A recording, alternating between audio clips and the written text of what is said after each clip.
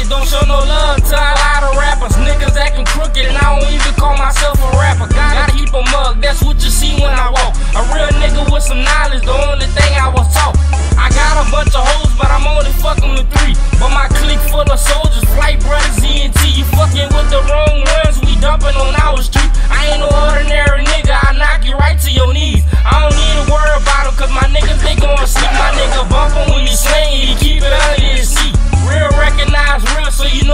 try